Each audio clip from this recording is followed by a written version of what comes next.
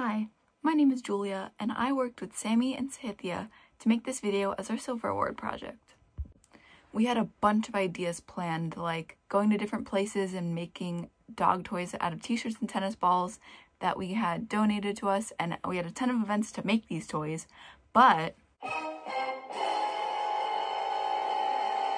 that's when COVID hit. We had to change our entire plan. But we were still able to do a skit, interview someone from Mount Pleasant Animal Shelter, safely of course, and make some posters that took way too long to make. Make sure to stay till the end to see our mini collaboration with other people who support Adopt Don't Shop and our bloopers. You're probably getting tired of me talking now, so here's Sammy's interview with Jag from Mount Pleasant Animal Shelter. Why do you help at the animal shelter? because I love dogs, but I can't have any of my own um, because I live with my mom. She can't live by herself, and she's terrified of all animals. So I get to play with dogs all the time, and it makes me feel good, and it makes the dogs feel good. How do the dogs How do the dogs feel when they see you? the the ones that know me get very excited.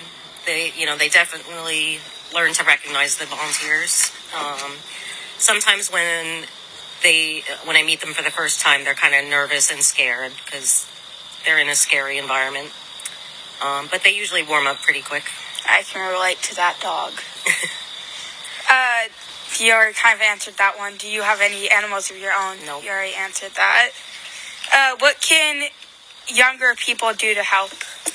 Um, so at my shelter, they're not allowed to do anything directly with the animals, um, but you can help out by kind of helping cleaning, doing laundry, washing dishes. Um, there's a lot of like office paperwork stuff that some some kids I see helping like filing papers and organizing stuff in the office. And how old do you have to be for that?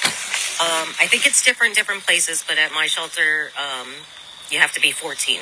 And how old do you have to be to work with the animals? Like 18. Uh, does your shelter kill animals? The only time a, an animal would get killed is if um, it's because it's really sick. Um, you know, like the way somebody would put their own pet to sleep, that kind of situation. And do you know what your shelter does with them if they do die? I don't know. Uh, why do you do it? Um, I just, I love the animals. Do you know the pros of like adopting animals and volunteering? I think adopting is better than buying because there's just so many animals out there that need homes. Um, most of our dogs come from down south. Um, they just tend to kind of think of dogs differently. People like love their dogs like part of their family up here. In the south, they kind of think of them more as like possessions. Um, a lot of them will be like used for hunting, and then if they're not good at hunting, they just kind of abandon them, or they'll use them for breeding. And then once they've had a couple litters, it's you know they're not any use to them anymore, and they again just kind of abandon them on the side of a road. Um, so they come up here, and then they get loving homes. Where if they stay down there, the shelters are so overrun that they actually do have to kill the animals um, just because they have nowhere to keep them. Why do you think people should volunteer at your shelter or any shelter in that case? I think if if you're an animal lover, it's just a really good way to interact with the animals. Um, even if you have animals of your own, these are animals that are stuck in a kennel almost all day long. The staff does, you know, walk them and tries to play with them, but they're busy. They they have jobs to do. Um, you know, even if it's just a matter of working with the people that are there to adopt, you know, that's time away from playing with one of the dogs. So most of the time that they get outside of the kennel is because of volunteers. How do you feel when you're working with the animals? Great. If um, you know, if I have like a really bad day at work or you know something stressful is going on in my personal life, that going to the shelter always makes me feel better. How does it make you feel seeing like a lot of dogs in the shelters? It's I when I started going, I thought it would bother me a lot more than it does. Um, I do feel bad. Occasionally, there's a dog that's there a really long time, and I do feel bad for those dogs. Um, but at the same time, those dogs get to know the volunteers. They love everybody. They get a lot of attention from the volunteers because they've been there so long. Um, so, you know, in a way, they get more attention just because they've been there so long. But I do feel bad because I think every dog deserves to have a loving home. You know, they shouldn't have to sleep in a cold, not cold, but you know, it's it's a it's basically a cage. You know, it's it's much bigger than a typical dog cage, but it's still kind of being stuck in a small little area the majority of your life, which is no fun. And are will will you ever adopt in the future? Uh, I think so. I mean, if um, you know, if I'm not staying with my mom, I think I would definitely adopt. If I was to get a dog, it would I would definitely adopt. I wouldn't buy. Thank you. Yep. So some of the other things when I volunteer, pretty much the only thing I do is the dog walking, which means, you know, I take them out of their kennel, I take them for a walk so they can go to the bathroom, and then they have um, these fenced-in yard areas and I'll take them in the yard and they have toys and you know we'll play fetch or some of the dogs aren't really interested in the toys. So you know it just gives them a chance to kind of run free for a while. Um, and that's what I like to do. But other people can do some other stuff. There's they have cats at the shelter which I am allergic to cats. So yeah so I don't go over to that side. Um, but people go over and play with the cats. Obviously you don't take them outside but um, you know you can hold the ones that are like in a cage. They have the what they call catteries, and they're these rooms where cats that get along with other cats are free to roam around the room. You know, they have like those cat towers for them to play with, tons of beds all over the room, um, just so that they're not stuck in a really small cage. Um, some of the cats are in cages if they don't get along with other cats. Um, so the volunteers sometimes, you know, will take a cat out of the cage and just kind of hold it in like a small room or something to give it some human interaction. Um, some of the volunteers do um, the same thing that I said the kids are able to do, like help with laundry and cleaning and dishes. Um, one of my friends that I met there, he's an older gentleman, and almost every single weekend he does he helps with adoption events. So the shelter works with some pet stores like PetSmart and Pet Valu, and they'll set up a table inside the store, and they will either bring like a dog or a couple of cats over and actually have them at the store. And my friend Rich, um, he's been volunteering at the shelter. I want to say definitely over 10 years, I think maybe 15 years. So he knows a lot about the whole adoption process. He knows about the shelter. Um, and he kind of acts as uh, like a representative of the shelter. He answers questions. And then the hope is because they have the actual animals there that, you know, that particular dog, somebody will see him and fall in love and then actually adopt him. Same thing with the cats that they bring there. Actually, I do have a few more questions for you. I just thought of them. No problem. Is there any other animals there other than dogs and cats? Not at my shelter. That's all they, they take. I know other shelters, you know, sometimes will take other animals. I saw, um, I forget what shelter it was, but I saw something online that they had rescued guinea pigs. How often do you work at the shelter? So before COVID, I usually went um, after work. They had late evening hours on Tuesdays and Thursdays. So every Tuesday and Thursday, I went there after work. Um, but since COVID, they were closed to volunteers for a while, and since they reopened, they're only open till 4 p.m. So I, excuse me, I work till 5, sometimes later, so I, I never get there during the week unless I have a day off. So um, you work during the weekends? Yeah, so I go almost every single weekend. And do you think it's better to volunteer or work there? Um, I I think volunteering because you have more time to just be directly with the animals. You know, the people that work there, like I said, they they do walk the dogs. They do play with them when they have time, but you have a lot of other responsibilities. So, you know, you got to do your job just like any job. Um, you know, I don't think it's a bad place to work if you needed a job. Um, I just, you know, I have a, another job and I like to do this in my free time. What do you what do you think about the catchphrase "Adopt, don't shop"? Uh, I think it's cute. I've heard it before. Um, I think I think I've seen my shelter use it. It's nice and simple and to the point. Would you ever tell anybody that? Yeah, absolutely. Thank you for your time, Jag. See you later. Bye. I'd like to say thank you to Jag for participating in our video. All the dogs shown are currently up for adoption at Mount Pleasant Animal Shelter. Now, here's our skit about adopting and not shopping. Oh, these dogs are so cute. I really want one. You know, I know a really great breeder. He keeps the dogs in cages, so we might as well just save them, right? You know what? You're right. Let's go right now. This is the place. They're leaving that dog outside and it has a pipe cleaner around its neck. Well, maybe you're just as yummy things. Let's give it a chance. That dog is eating leaves. Oh yeah, just like the dogs who eat stones to fill their stomach. Who is this guy anyway? Randy? Who's there? Hi, ladies. I'm Randy. Everyone calls me Crazy Randy. You hear about the dog?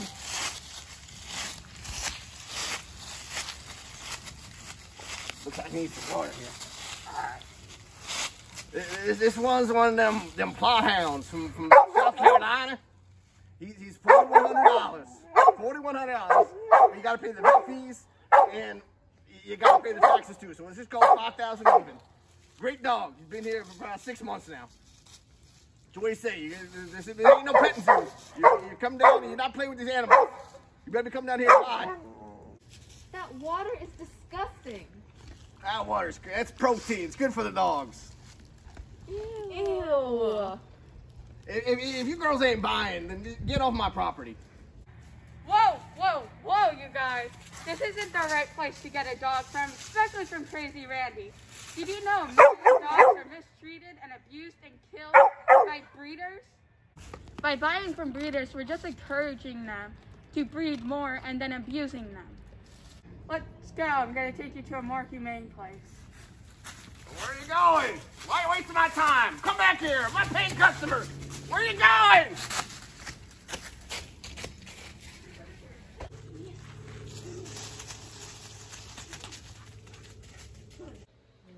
Okay, this is the animal shelter. What's the difference? The difference is animal shelters take in dogs that are in need and put them up for adoption, and breeders just breed themselves. So we should help out animals in need instead of being specific about what kind we want? Yes, every dog deserves a loving home. Hello there. My name is Wendy. Welcome to the animal shelter. Hi. Um, let me show you around. Okay. One we found today. He was running around with just a pipe cleaner on his neck. Hey, that's the dog from Crazy Randy. Crazy Randy? Yeah, he gave the dog uh, dirty water and called it protein. Oh. That's terrible. Well, at least he escaped that terrible man. Since we're here, can we adopt him? He deserves a good home. He first needs to be checked out, and then in a couple of days, we'll be ready to release him. And then you can. Oh, okay. Do you guys want to go look at other dogs? Wendy, she already picked her favorite would be useless. He's so cute. Well, you can always come back when he's ready and take him. He's not ready yet. Oh, fine. I think it's time to go. I promise, honey, in a couple of days. No! Don't Thank forget you. about me! Thank He you, won't bye. forget about you. He'll love you. Do you guys see the difference between breeders and shelters? Yep. The animal shelters take in animals in need and care for them. And breeders usually breed them on their own, and they usually don't do a great job about it. They don't treat them right. I never want to see a breeder again. I want to help animals. Don't worry, you don't have to. You can donate food and other supplies to your animal shelters. Look at, look here. Here are toys that I'm working on to donate. Ooh. Looks like you're never too old to learn something new. Right again, and if you want to help your local shelter, see what they need. Check out their website. And remember, adopt, Adopt, don't shop.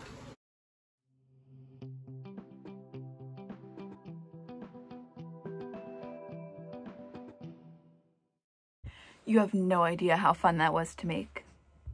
As I said before, we made some posters. Sammy chose to make hers about puppy mills. Sahithya chose to focus on adopting versus buying and the mistreatment of animals. And I chose to bring awareness to East Coast Canine Rescue. So here they are.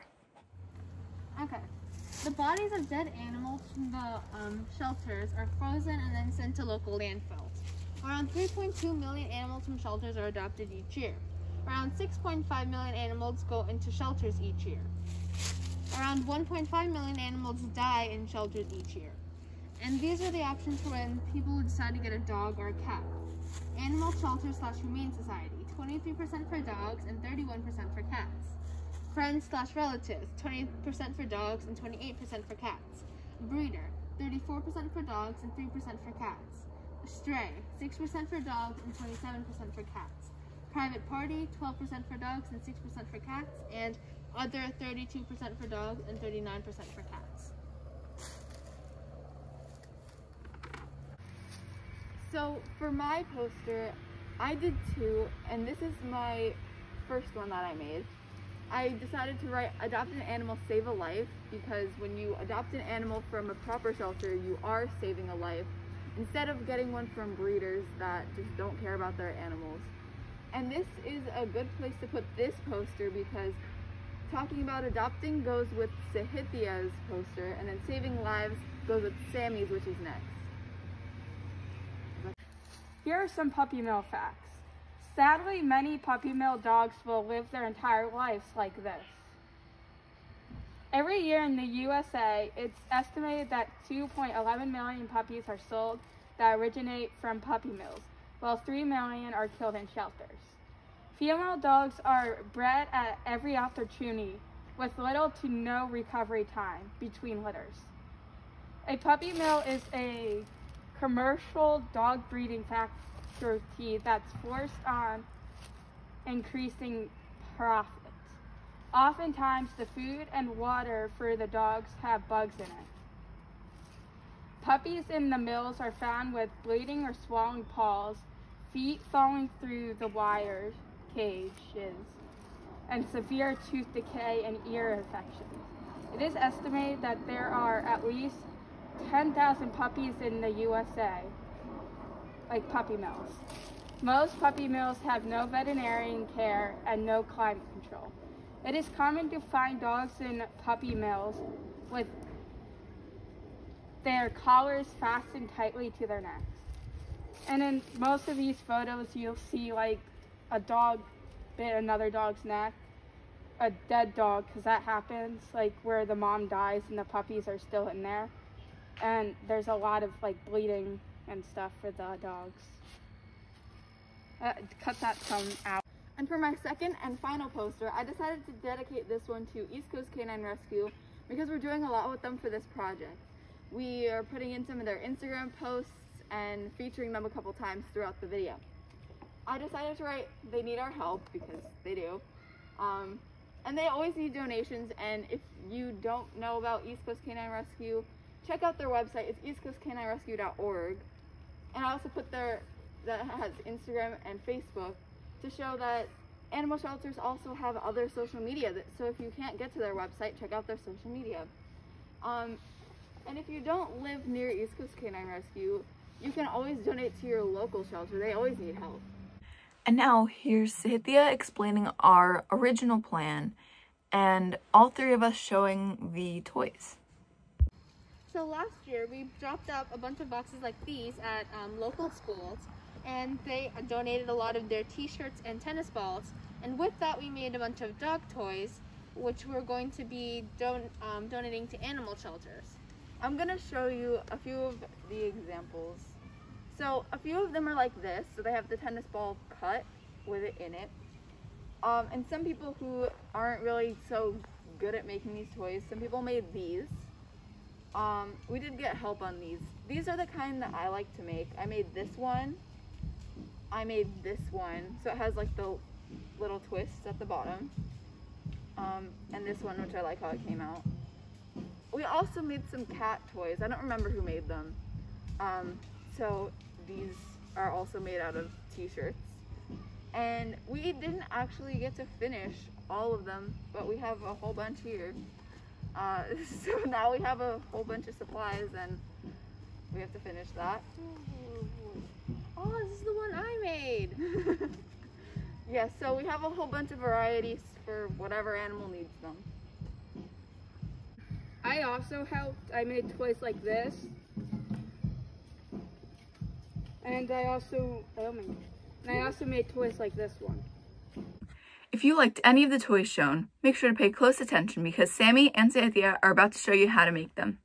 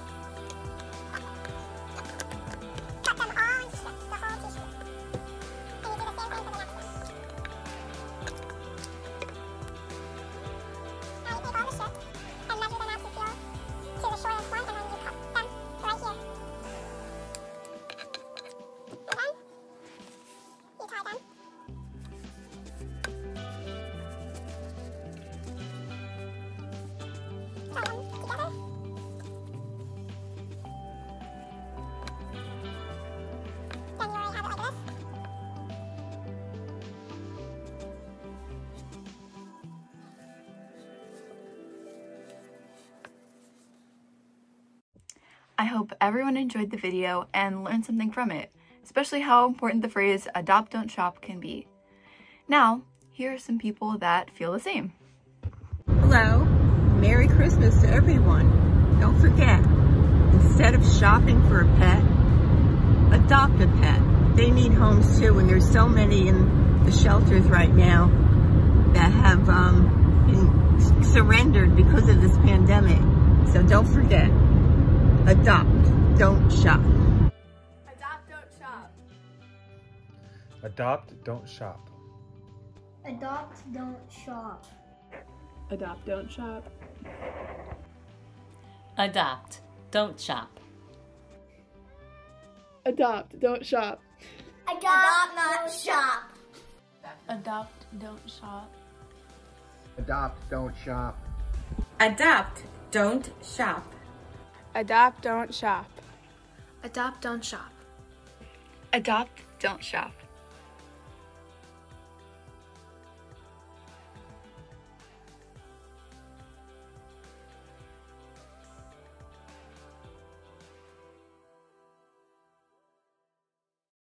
Action. I want Julia's phone. Get out of my face, kid. Okay. it's it looks like I'm looking straight at Cynthia. It makes Cynthia's face look bigger. It's like those dogs that like eat rocks when they're it's too wordy. This is the place. Oh, wait. No, because you're not supposed to be looking Wait, at where's that dog from, Cynthia? But you- East Coast Yeah, so you can't really look at shelters because we're like thinking badly, like, you know? Like, And now we gotta hit the my con. you know? No, hit the con. Julia, hit the con. What? Hit the con. No. Do it. I dare No. you. I dare you. No. Dare you. Okay, cute Okay. dog. Then catch. Uh, do You're the just wow. filming all this. Yeah, just do the wow. Wow, Should I my just- storage. Oh, wait, wait, should Do I the take a screenshot? wow. Should I take a screenshot? Oh, you're already filming? I didn't even know. okay, No, Cynthia, it's imaginary. That's not how you freaking serve. It is a Cynthia. Are you recording? Yeah. Say hi to the vlog. What an independent queen. Yeah.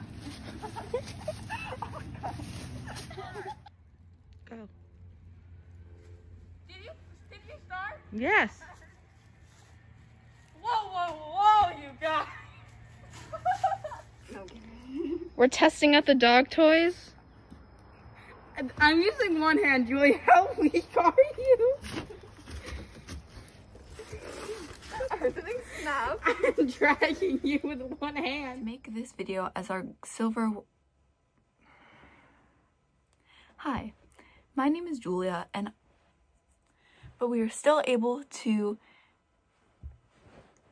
do, do a skit, do a skit. But we are still able to do a skit. But I hope the main thing you take away from this. I had it right. I had it right. Uh. Mm. And I'm out of Hershey's. But they're in the kitchen. Okay. This is Bella. she doesn't really like getting picked up, but I promise she loves me. Yeah, I know. I'll put you down. It's okay. Thank you. Now we have to go. I said action. Okay, this is the animal shelter. What's the difference? Are you? Hello there. My name is My name is Wendy. Welcome to the animal shelter. Stop. Hi. I'm petting my dog.